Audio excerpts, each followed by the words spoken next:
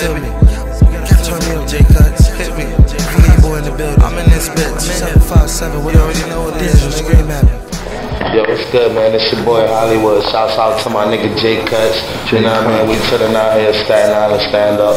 I'm reppin' for my 757 VA niggas. You already know. We out here, we doing big things. Hollywood Adventures. It's going down. You feel where I'm coming from? It's all about Hollywood Adventures, baby. I got Hennessy sipper. I got Girl, I Think I Like You. Nigga, we booming. Man, we got a lot of things going on. So basically what I'm trying to say is get ready for the movement. Hollywood Adventures. Why ain't that reckless, nigga? Scream at him.